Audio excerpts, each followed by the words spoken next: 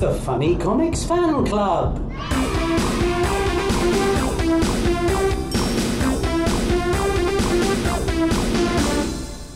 Hello and welcome to the Funny Comics Fan Club with me, Dr. Mark Hibbett. And me, Squadron Leader John Dredge. What ho! Tally ho, boys! Tally ho there, pip pip, don't you know? So convincing. I, I don't know why I've never picked up you as squadron leader before. I've got no squadron. It's blooming useless being a leader with no squadron. What am I supposed to It do? doesn't say a lot for your leadership capabilities, does it?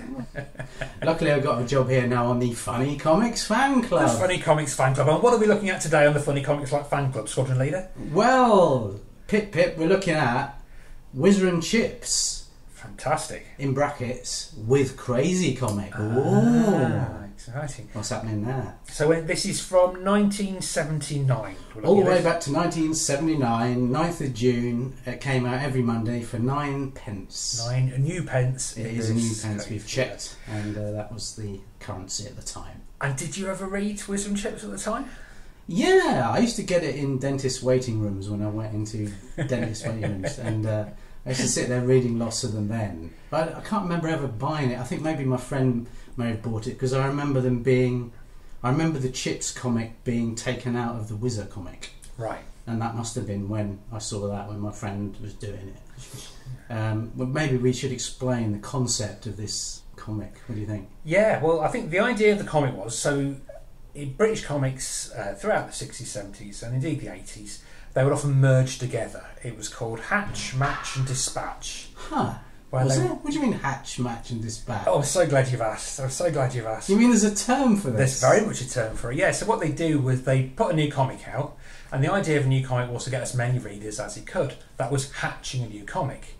After a year or so, they would then match that comic with another comic that might not have been selling so well, or vice versa, and they put them together, and then they would not. Then they would be dispatched. So they'd hatch it out, they match it with another character, with another comic, and get rid of it Huh? and it was a whole policy whereby you'd go, okay, well we've got hundred thousand kids reading this comic. Let's see if we can get hundred thousand kids reading this comic. If they don't, we go fair enough. We'll merge it with another one so that all the kids who read the original one now get that one, and then we'll just put another one out to try and get some more kids out. Did that work? Do you think It worked quite well, yeah. I mean, they kept doing it for a long time. they must have worked? But I mean, if you look at this Whizzer and Chips with Krazy comic, there's not a lot of crazy about it. There's not a lot of crazy. I mean, originally, I, mean, I think it's odd that it's got crazy. It's it doesn't say Whizzer and Chips and Krazy. No, no, no that's right. But yeah. Whizzer and Chips was launched as two comics. So they must have thought, oh, kids love it when you've got two comics in one. I didn't like it. I hated it when that happened. But they must have thought it was a good idea. So they launched Whizzer and Chips as one comic, pretending to be two. Yeah, what a strange thought. It is odd, isn't it? Yeah. Yeah. I mean, when you get to Chips, it says every Monday on the Chips pages because it's pretending to be a separate comic, Yeah. but it doesn't have the price or anything else there. But Does yeah, it not? It doesn't have the No, price no, no. That would be too confusing, I guess, wouldn't it? Because you know, maybe uh, scurrilous newsagents say that's eighteen p if you want two of them. They would do, or they take them out. That's probably what, like you know, like when you buy cans of Coke and it says not to be sold separately. Yeah, something like that. That's probably why. Cra- Krazy Comic really died when it when when Krazy stopped. Uh, there's like what is it, three or four strips from Krazy? Yeah, yeah. So Krazy's been part of Whizzer and Chips for I think about six months at this point. 1979 was sort of the midway point of the whole run of Whizzer and Chips, I think, because it started in 69, ended in 90. Yeah. This is 79, so it was going for what 30 years. This comic. And this is kind of in the height of I mean the sort of comics you and I have been talking about, sort of comics we remember. 1979. This this period is the height of these all going. So there was loads and loads of them about, wasn't there? Yeah, and we'll have to look at many of them as we as we go along. We will do. Right. So the thing about the two comics, Whizzer comic and Chips comic, is that like this guy Sid was in charge of the Whiz kids, the people that like the Whizzer comic, and Shiner, this guy Shiner, was in charge of the Chipites, Chip or lights forever, the people who like the Chips bit of the comic. which was me, by the way. That was me as well. Yeah, yeah. Uh, Well, let's look at why that was. Because if you look at this today, Sid's snake was on the cover for uh, you know years. I think the concept of Sid's snake is It's, It's quite a- complicated, so you may need to explain this slowly to people. it's a kid called Sid, Mhm, Right. and he has a Yeah. pet snake, a giant pet snake, Yeah. Called Slippy, I believe, Oh, he was called Slippy, wasn't he? Yeah. and that is it. That's it. And so they got 30 years out of that. Now, this has happened a few times while we've been doing this podcast. I'm sort of amazed at the amount people have got out of these very thin premises. He's a boy who has a snake. And the snake can change into different shapes and things like that, a As- little bit. As long as they're still a snake, yeah. Yeah, Yeah. snake like shapes. Very snake like shapes, yeah. 30 years this was. I mean, I mean, the first, I mean, on the page here, on the front page, we've got Sid. He's trying his luck as a magician. Must be a hobby of his, apart from having a snake. Got- you need got to keep something else. yeah. There was no internet in those days, be fair. Yeah, you have to keep yourself occupied. So he's going, For my last trick, I shall make someone float in the air. And someone's on the table. He says, Now I remove the stools. He does that, and the bloke's floating in the air. Amazing. And then everyone in the audience is going, I wonder how he did that. The answer is behind a curtain, the snake was holding up the table. 30 years. 30 years. this. And it's incredible. You sort of think, so these kids, they get, well, I mean, it's like, do they not know? yeah, they're a bit thick. What about, oh, Sid, yeah. There's something about Sid, isn't it? What is it with him? Does he collect rubber bands? Oh, it's something like that. Anyway, how is he doing this? Yeah. It's his snake, you idiots. I This is no wonder we like chips. Uh, I mean, Sid himself is just blank as a character. completely blank. Just yeah. bland. Just nothing to it apart from the fact that he has a pet snake. That's it. I can't imagine there were that many Whizzer fans if that was the The best whiz, of what the whiz kids. Right on the blooming front. And that's advertising it to everybody. So Are you stupid? no, Then you're like, no, I wasn't talking to you. Oh, sorry, sorry. No. just wondering. Don't, don't put me up on a charge.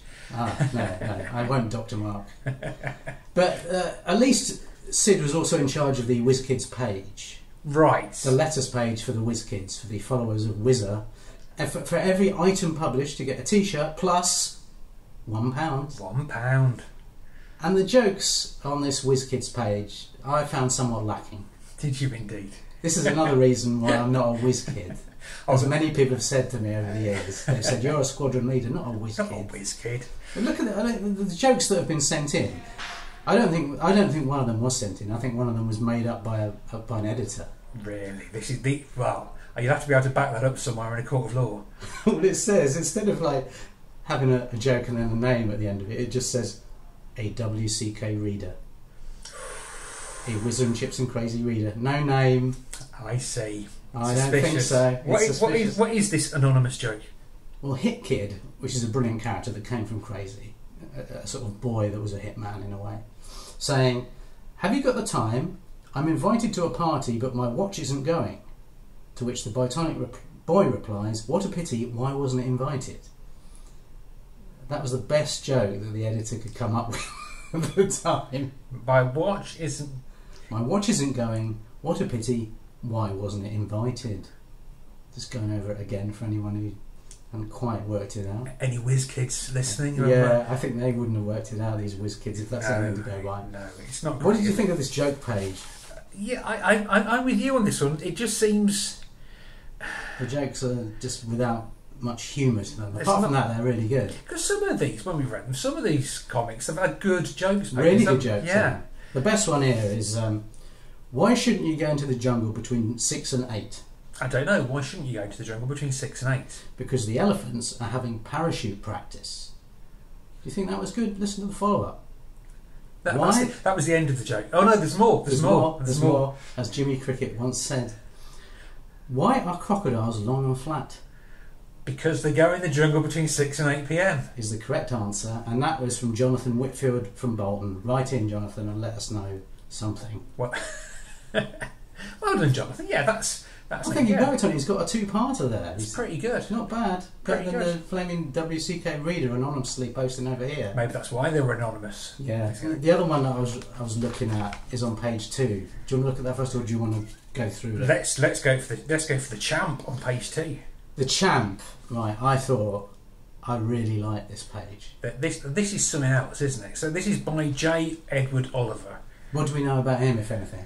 Well, J. Edward Oliver was well, he's famous because for all the little details he always used to put That's what I love about it. Some of the details are, are, are brilliant in here. He could have anyone else might have just left the background and concentrated on the action, but I love that's what makes it good for me is these little background details. Like the main one that sprang out at me is that they're, they're playing football on a, on a lawn, and there's a sign coming out of it that says "Abolish Tuesdays." So that was something that he put in his comics quite a lot, I believe. I think the argument is that on a Monday you're sort of fresh from the weekend, so you're ready to go. Friday is Friday, Thursday's nearly Friday, Wednesday's halfway through the week. What's the point of having a Tuesday? Is that right? That's how it goes. That, that was the argument for it. I didn't realise there was a cohesive argument behind that. So there you go. No more cohesive than that, I think. That is really good. And also, he used to have these things. He, he would have a small cube that had a handle coming out of it in some pictures. Have you heard of that? I, I haven't heard of it. I remember that because back when I was reading this sort of thing in '79, I remember a friend of mine saying in some of these comic strips there's a small cube with a handle coming out of it for no reason at all in the background. That just stuck in my mind, and I, I've actually always I've, I've done it since in cartoons of my own. I've done that sort of thing. So it really stuck in my head. But it, there's so much clever stuff in it, isn't there? There's, um, I love, there's a little detail in one of the panels where there's a litter bin, and the litter bin's full of puppies. And I was going, why is that? Oh, it's a litter of puppies. Litter of I puppies. see, I see, I see. There's another little detail. There's another sign coming out of the lawn which says says something like "grass cut by Lorne Greene." Now, Lorne Greene was a, a fairly well-known actor in those days because Battlestar Galactica was probably on television at this Mm. point, which he was in. So yet another fun '70s reference. But I thought the the story was really good for once. It's plotted out really well. There's ten panels. It's got a beginning, middle, and an end It has. And it just has some sort of satisfactory quality to it the way it's done. It really is a step above, isn't it? Especially looking at something like, I don't want to bring this up again, Mickey the Monkey last time. I told you not to bring that up. And that was like a huge tabloid paper with gaps in it, no story, just dreadful. This is crammed full of stuff. This Crammed is so much fun. going on. It's, it's brilliant, isn't it? Yeah, it's really, really good. We love this. But yeah, we I really like the champ, and in fact, some other artists had done this character beforehand. Oh, weren't they? I can't remember who they are now, but um, I think Jay Jay what's his name Edward Oliver did really well. Well done, J. Edward Oliver. I think that's the only page he did in this as well, judging by his style. But it's funny, it's because I, we have, I don't think we've seen any of his stuff before. No, no. And you get, and when you see it, it's like, oh, it's this guy. Because a lot of these, you think, oh, it's this guy. Which brings me, Brings you to segueing. I'm going to go. this guy. I'm going to go over to the middle pages. What do you think you're doing? I'm flicking through to the companion paper to Whizzer, Chips, every Monday. And we've got Shiner here. And the reason I was going over to this one because Shiner is drawn by Mike Lacey, the same guy who drew uh, Sid Snake. Because there's nothing wrong with the actual artwork. There's, there's ne- very rarely is, is there? I mean, Very almost rarely. always the artwork looks great, and this does look pretty cool, does it? You've got Shiner, I better explain. Shiner is the leader of the Chipites, and his characteristic, his main characteristic, is that he always ends up with a black eye. Again, 30 years worth of material out of that. What, what that makes me realise is how inventive these people were in order to do that. And what I like about this page is that Shiner's having a fight with, with, with somebody, and his mum comes out and says, Oh, Shiner, don't you dare scrap with Johnny in our garden. Go somewhere else. So then he says, I know, we'll carry on our scrap in the park. Yeah. They're enjoying it. Well, they're like they're like football hooligan crews, aren't they? Who would arrange to meet up specifically to have a fight, Yeah. arrive at the fight, and then start beating seven shades of whatever out of each other. And they're both having a good time doing it. Come on, kids, let's get into organised violence. It's fun, hooray! I can't see it happening now. Um, I, I don't think you'd have this story now. Some kids just whacking each other. No. No, I don't think that would get on CBBC these days. But what's good about it is they go in the park, and immediately the parky, the parky, here he is, the iconic figure of comics, comes out and says, "Oi, no scrapping in my park." So then he, they go into the street.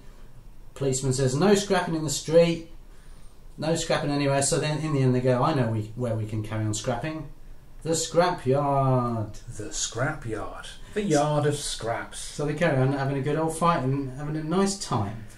A lovely time. And all the adult authority figures, so his mum, the policeman, the parkie, and the car park attendant. And who doesn't remember the car park attendant as an authority figure back in those days?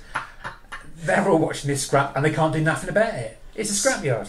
But Shiner's contribution to this comic doesn't end there. No, he doesn't, does it? No. You look at him here in charge of Shiner's Chipites page. Now, did you prefer the jokes in Shiner's Chipite page? These were of a much higher standard. Go on, give us one then. Well, look at him. He says, um, for example, there's a limerick here for a start. I'm interested. You like a limerick? I'd like a limerick. There was a young lady called Win who dieted till very thin. She caused a cascade while she drank lemonade because she slipped through the straw and fell in. It's, it's, right. it's worth reading. That it's worth reading, in my opinion. I'm glad you did. And I did notice that they've got a little coupon at the end. It says, What are your favourite features? There's no mention of anything you don't like. Oh, there's not, is there? There's one, two, and three of ones that you like. There's no no chance of getting a don't like in there. Maybe they're thinking like all the kids are like, I didn't like the anonymous joke writer. Get rid of them. Yeah. Ah. Or maybe the editors were just thinking, we don't want to put negative thoughts in these kids' minds. We'll, we'll just pretend that everything's great. They don't want to put negative thoughts. The front page of this mini comic is two kids beating the living daylights out of each other.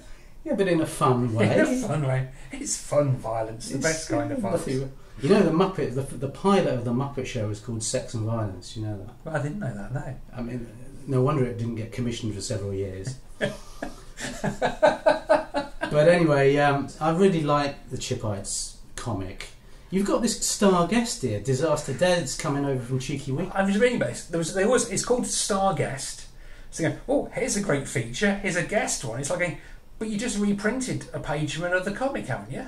Isn't that what's happened? Is that a reprint of, of an old strip? I don't. I've no idea. But it's like, isn't it? Wouldn't it be? Because they're not going. Let's introduce you to Disaster Des. I think not, because I mean, to me, that, that I thought that was like a, a form of marketing for the other for another comic. I think it is. It's I, like here is a, a character from Cheeky Weekly. What do you think of him? I think. I think it is. But also, they're going as a side result. They get a free page. Or Yeah. maybe. I mean, do they? Would they have paid the writer and the artist twice? I doubt it. I doubt it. Knowing how these things work back in those days, And you know, you'd have to be rich to get two comics a week, wouldn't you? Let's face it. you have to be roll. Well, this is two comics a week. Oh yeah. What are you talking about? Oh yeah, good point. I don't think any of the characters in this were rich. This is very much a working class sort of Well, they were. Like, publication. if you look at Shiner's mum, Shiner's mum's got the classic "I am a working class character" because she's got a headscarf on, right. rather than Shiner's mum. Yeah. Maybe that's why we like Chipites more than WizKids because the Yeah. WizKids. Are, I, I always get the impression that WizKids are posh. There's something in that. I think there's something in that. I think there is. We, yeah. we sort of side with the underdog. we, we, do- we do. We do. What else have we got? Yeah, Okay, now you're covering this page. Run, Rogan, run.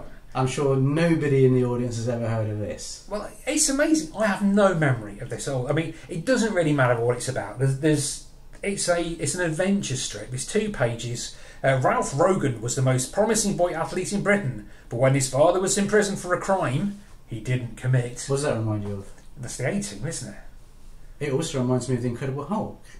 There was a lot of it about in the 1970s. I think both of them were on at, around that time.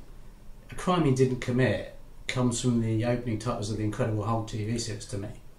Is that what they say on the That's what it's on the A A-Team as well. Yeah, yeah. go. They, they make it very clear. Yes, they've been wrongly convicted. So that's yeah, a lot of it about in those days, according to them. I mean, I don't know. according to um, them. It's. I, let me just look at this again. It says convicted for a crime he didn't commit. Ralph broke him out of jail. This lad's about twelve. How did he break his dad out of jail? And now Must have been must have been in an athletic manner. it would have been an athlete. It would have involved running of some sort, wouldn't it? Or possibly a discus. Because look at him here. There's a, there's, a, there's a picture here where he's training for something. He looks like Batman or something. He does, doesn't it? It's a mon- It's a montage, isn't it? It's, It's a, a classic montage training montage. yeah, he looks like you know he'd be handy. He could take on Shiner certainly. Oh, he could do for Shiner, couldn't Yeah? That's that. That strip would be all over if he was there. There'd be nothing left of him. Shon, it would be called. Shiner R.I.P. But the reason why I talk about because there's this, and there's also a strip called WizKids, which is another double-page adventure story. Yeah, well, it's called something Whiz Wheels. it's Whiz called. Wheels. But it's got a, a chap in it called Tommy Whiz Wheels. Is that his name? Mr. Wheels, the common English name that we all know. Mr. and Mrs. Wheels and their son, Tommy. Mrs. Wheels, nay spoke. but the reason I to talk about it is I- it's, it's They're not really- similar. They're similar. I mean, and they look nice. I mean, I think these are mostly drawn by Italian, Italian or Spanish artists, so it looks great. But I have no memory whatsoever. And I, I, I got Whizzer and Chips. I got it. From, I had it on order at the newsagents for a couple of years, and I will have got it during this period. Mm. No memory at all of there ever, ever been. And it's like when we looked at Jackpot right at the start of all this, and that I've no memory of Terror Toys. No, not at all. Not at all. The only one I remember is in Cheeky Weekly.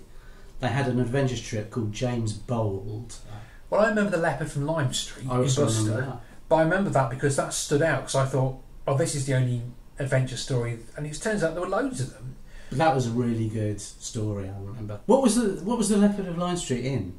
And it was in Buster. Buster. We haven't done that yet. He was bitten by a radioactive leopard.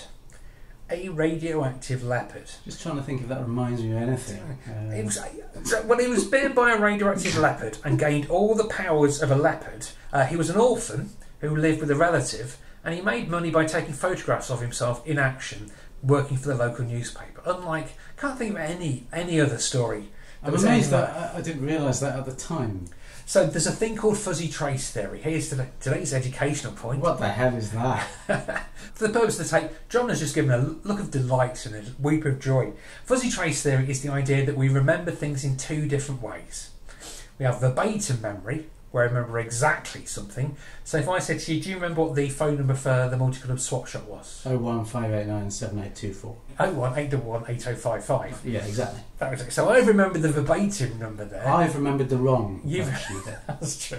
So, yeah, sorry, when I said there were two, th- two ways. There's more than two. There two. There's the incorrect way. There's the verbatim way, which is what I just demonstrated there. There's There's, the wrong way, Yeah, the wrong way. Yeah. and the third or second to psychologists and what do they know is called gist. So you remember the gist of something. So you would remember the gist of how a funny comic works, and you'd also remember verbatim how a funny comic works. But over time, uh, the verbatim memory deteriorates, and the gist memory stays. So you remember the gist. You're much more likely to remember the gist of something than the actual verbatim record of it, and that gist memory changes over time. So it's like as you go through life, you think, oh, I remember the general idea of how a funny comic works, and gradually what you think about will be the funny comics, the funny strips in it, and you'd forget. So you don't remember that these are. So it's just really weird now when we're confronted uh, with these things. It's like, what, what are all these adventure strips doing in here? yeah, It's quite weird. it is weird. Well explained, Dr. Mark. Thank you, Squadron Leader. What I like, I mean, what I like about this is it- it's quite a good story. I'm actually quite interested in, in this story. There's one panel where all he is, he's just in his office, and they're just talking to each other, like the, the the trainer's talking to this kid, but the camera is outside the office, looking in through the office window, and you can see these sort of shadows inside. And just taking what would be a, nor- a fairly sort of uninteresting picture and making it making it unusual. Yeah, and that's why these guys were hired. I mean, this is by a guy called Mario Capaldi. I think he was Spanish, he might have been Italian, but the whole studios of these artists working out there. He did loads and loads of work. I mean, I always, whenever I see this, I think it's something like Misty, or it's one of those sort of the girl stories. Always look like this, sort of very glamorous. It looks fantastic, doesn't it? It does, but I, I would never have wanted to read Misty or anything like that because I think a whole comic of this sort of thing wouldn't have appealed to me actually. Well, Misty's too scary, isn't it? That was the It problem, is it? scary. What was quite interesting was that they've got uh, a few exclamation points here. Slam is one sound effect that comes up in the panel, and another one, thump. But it's slam with two M's and thump with two U's, so either that's for emphasis or the writer couldn't spell. And when somebody gets thumped, what do, what exclamation do they give? Now! Now. Sounds more like E.T. or something, doesn't it? Not really. Maybe. Well, maybe it was. We don't know. So this is in the dark. Could it? You can barely see them, let's face it. But what do we think overall of this uh, story? I did not enjoy it. Again, as, I- as we always say, it looks great. The montage scene is fantastic. But it's like, say, some lad is hiding his dad in, in a PE room or something, and he's doing some athletics. What is going on? There were loads of athletics things on kids' TV around this time. It may have been a reflection of that. There was a program that no one remembers called Out of Bounds. That was a I don't remember that. no. It was a thing in, around this time, and it was about a kid athlete who got kidnapped. That's what it was. So not not dissimilar in some Not ways. dissimilar. Uh, the the theme tune was actually was a bit of Kraftwerk, which was scary as hell. This isn't really scary as hell, so no. let us pass on from Let us pass on to So I think our next scheduled stop is with Fusspot.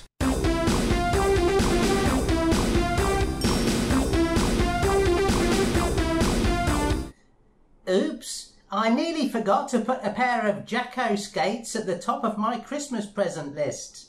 Super Jacko skates. Quieter, safer, longer wearing, uh, available from all good toy shops, sport shops, and stores everywhere.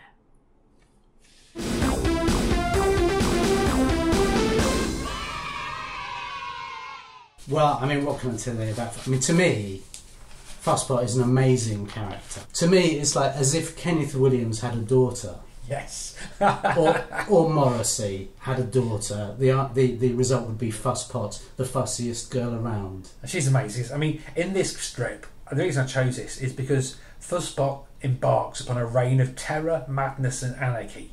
Right at the start, she says, Tut tut, the seats in this park are a disgrace. Look at the rubbish on this one, fuss fuss. You can hear Kenneth Williams saying that. It's a disgrace. It's very good. That sort of thing. Yeah. She's standing next to a parky.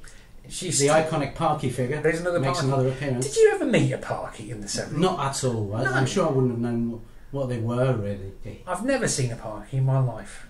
I've If seen it- if police it- officers, I've seen car park attendants, I've seen. although If not so anyone much. has any photographic evidence of a Parky from 1979, then let us know. please do on the socials, on any any way you want to do it. Anywhere you like, let us know. D R E D G E H I B B E T T at gmail.com.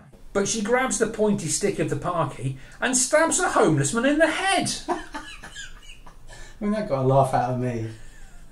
I don't think he should have done. No, it shouldn't have done. She stabs him in the head and he says, Yow! Yeah, Oh, so I, that's, yeah. I would have had more to say about it than that. Yeah. Then, then she goes and there's a seat next by, and she b- bounces down the seat, knocks an elderly person off the seat. Great. Sorry, not great. no, bad, John. Very bad. bad. This is bad behaviour. not funny. As we'll find out as we continue through the story, we'll find out there's a lesson to this. Let's carry on with it. So first what then carries on, she says, I'm going to go and sit on this park bench. And the parky says, don't sit there. And she says, fuss, fuss, I rem-. She's go- she basically says, get lost. I'm not listening to you. I do as I like. and oh, there's an untidy placard on it. She removes it. She sits down and the placard says, wet paint. Fusspot gets stuck to the bench by the wet paint, not jelly paint, I assume, but No, because park that bench doesn't paint. exist. That never existed. And then all the characters before and all the adult characters appear and remonstrate with her at the end. And the parky then, as this is all going on, the parky turns to us, the audience, says, Ho ho, that'll teach her not to be so fussy next time she parks herself in the park. Whoa, ho, ha, ha, he, he. And Yeah. it's like, what? So the parky's on our side now? We like the parky, do we? This comic goes to 21 years. There's no way she won't have learned this by next time. The next I fuss can't see it happening. yeah, it's not going to be, hang on a minute, better not stab that homeless man in the head this time. It's not going to happen, is it? No, but um, a very fun character and one that all kids could relate to, I'm sure. I'm sure we could, yes. Um, yeah, we, we love Fusspot. It's, well, I suppose in a way, this last pa- this last panel of her being told off is kind of like in the Beano and the Dandy. It's the last, it's the slipper panel, isn't it? It's like saying you've done wrong and now you will pay the price. Yeah, yeah, yeah, you have to pay the price right at the end. And as, as, a, as a story, this works quite well, I think, because it sets it up. It, it, there's, there's the law of three, so there are three occasions upon which she does wrong, and on the third occasion, her own actions lead to her end. So it's well well constructed. Yeah, it's great, isn't it? Yeah. It's just a good a good character and a good story, and that is something that we, we do both remember. I, I imagine. Oh, we always. I think everybody remembers Fusspot. Everyone remembers Fusspot. good. Full marks to part. Full marks to Fuss. Now we're coming on to this next one. Timothy Tester. I've never heard of this. Have you ever heard of I've never heard of Timothy. Tester. Of course, Tester. you haven't ever heard of Timothy Tester. Nobody on earth has ever heard of Timothy Tester. Which is odd because it's a great. It's drawn by a bloke called Cliff Brown, who we've come across a few times, and he usually draws like when we've had centre spreads. Uh, he draws those. He draws the really those really like. A, there's been a couple of ball games, haven't there? Puzzles. puzzles. Yeah, Yeah, he draws those. And here he is drawing a strip, and it does not look like the other strips, does because the Nothing like the panel structure is all different. He's, he's got big panels, small panels. Each panel is really filled in. It looks sort of old-fashioned and ornate, doesn't it? There's lots going on. There's There is a jokes in lot the going background on. of things. That's what I liked about these sort of comics was when a lot was going on. At first, I wasn't sure what to make of it, and never having come across it before. But then, after reading it a few times, I, I really, I suddenly realised how how good this is. A character that just tests everything and annoys the hell out of everybody, I mean, at the start, he's going. His mother says to him, "You're not sitting in here testing my kitchen equipment. Go into the garden out of harm's way, nag, nag, nag." But he's what he's doing is he's putting a, a cheese grater into some contraption. He must have. Into, Uh, into a meat grinder. is that what it is? That's it is, yeah, he's a mincer. So, so, so he's testing that in some way, apparently. I hadn't spotted that. yeah, I love that. And he's forced into the garden, and then they don't want him in the garden. This is a bit like the, the Shiner episode earlier. But Shiner's in it, isn't he? Shiner turns up. Now, what's this? What's this concept? So this is when characters from Wiz, Whizzer and Chips would make raids into each other's comics. That's what's going on. What a great idea! I love that idea. So Shiner turns up and immediately gets smacked in the eye with a trombone for his efforts. And gets a Shiner. he gets a Shiner, hence the name. Yeah. He does.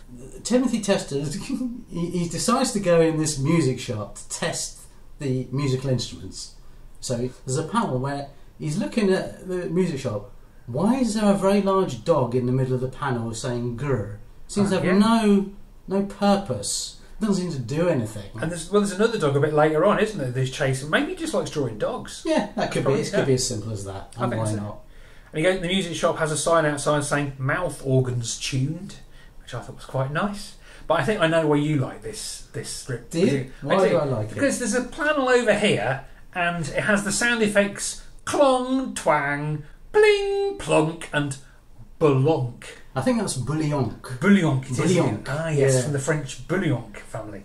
Uh, another invented word. I love invented words. Yeah. So that whole panel is nothing but odd words. Like if it's not bouillon, it's plunk. how, how many times have you heard me say that? if it's not bulionk, It's, it's, plonk. Yeah.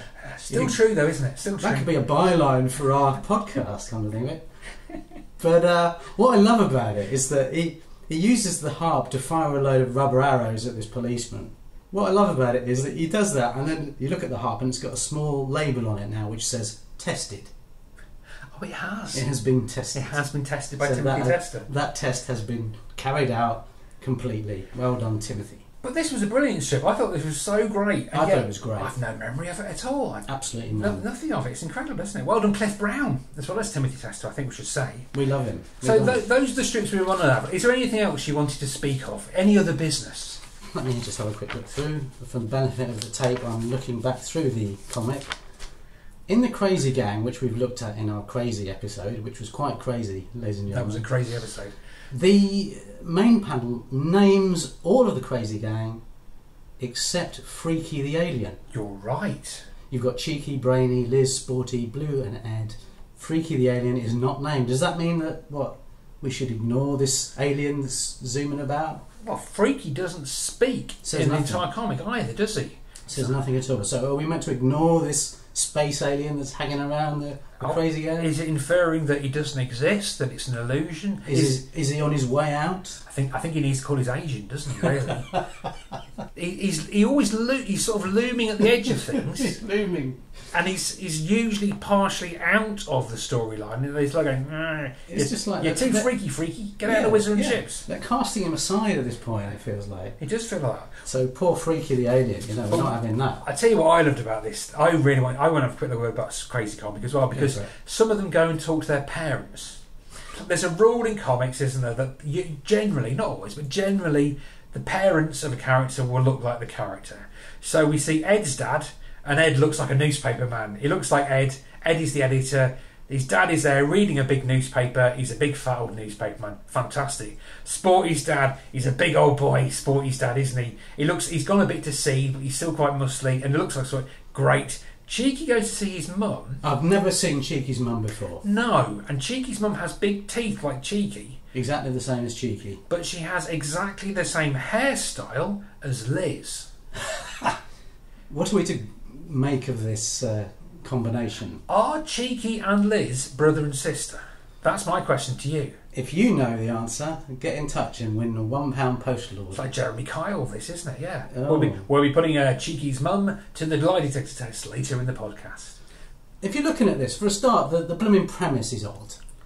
I- There's a big sign on the school, and it says "School Tinfoil Collection." What? Why? Why are they collecting tinfoil? What is the purpose of tinfoil? Maybe you know as a doctor, maybe they ran out of tinfoil. I don't know. I What, don't why, know. what's the point of giving a load of tinfoil Tin to a blue- school? Didn't Blue Peter collect tinfoil at some point? But then, Oh, they collected caps from bottles or something. yeah, Maybe it was obvious back in I 1979. don't think it was. But it doesn't make any sense, doesn't it? Yes, but then again, you see, what, towards the end of this, when they've got they they amass a massive ball of tinfoil, and then they meet the Brown Street gang. And interesting, going back to your earlier point, the Brown Street gang have equivalent characters for each of the Krazy gang. Huh. One of them is a girl. That's how I spotted it. There's no freaky alien. though, No alien. No alien there. A, Oh, the freaky's being shoved to the side. I'm telling you, I'm calling his agent myself. Yeah, yeah, yeah. What is it? 015, what was it? Oh one eight double one eight oh five five. If Noel Edmonds is there, he's a powerful man. He could get He'll in get with straight onto Freaky. that. Yeah. So I, I mean, this was an interesting. I mean, at the end they win an old tin can that seems to be empty. I don't know why they bothered. They won an old tin can. Some old tin can. They win that. They, they they say we've won the tin cup. It looks pathetic to me. It was hardly worth the effort. But the other thing I wanted to speak to you about was this centre spread. So in the centre of Whizzer and Chips, there's a poster for a superstore. Yeah, Now I object to it, obviously, because this is in the centre of Chips, and Superstore is a Whizzer storyline. Oh right, So that's that's made me angry to start with. that's that's not right. And I noticed it's called a Whizzer and Chips poster. I thought you were calling this Whizzer and Chips with Krazy. You've been quite specific about that on the letters page, guys, but apparently not. Not just Freaky, who's been uh, sidelined here. Yeah, and look and, and look at what's going on here as well. Like there's a there's a sign on it that says "Buy now." I mean that's you know that's trying to hypnotise you into going out and getting all this stuff. It's being held by a monkey playing a tambourine, so maybe it's hypnotising you to go and purchase a monkey playing a tambourine. I haven't done as yet, but let's see what happens next time. But with Superstore, it's like, why would you want to post it? This is like possibly the dullest strip. I mean, in Superstore, what happens is Yeah, it's no a shop where they sell things. It's not. Again, I have to say this. It looks lovely. It's really nicely drawn. lovely colours. But what? Why? But what is the point of What's it? the point of this? Yeah, you could have had Shiner, you could have had Pongo Snodgrass, anybody else. You could, you could have had a Spotter's book. You could have a TV TV, book arrows, yeah. Spotter's TV book. Yeah. There's a couple of things I wanted to mention, right? So you know Sammy Shrink. I was looking at uh, up Sammy Shrink on the internet, and uh, it said it, I, th- I thought that it said Sammy Shrink, a boy who can become marginally smaller. it was actually magically smaller. I got that wrong. Oh, I that wouldn't have been very interesting, would it, if he was only marginally smaller? That's like the, the great character Kenny Crouch. Yeah, yeah, yeah, yeah. Sammy, the not that small shrink. I loved the Pongo Snodgrass page, by the way. Oh, it's brilliant because Pongo Snodgrass, drawn by Ian Knox, who we've looked at before. Oh, we've looked at Pongo before. We love this character, but the idea of it is so great. He says, "Today I'm going to show you how to remove a stain from an old pullover." He says, "All you do is cut carefully round it and stick it in your stains album."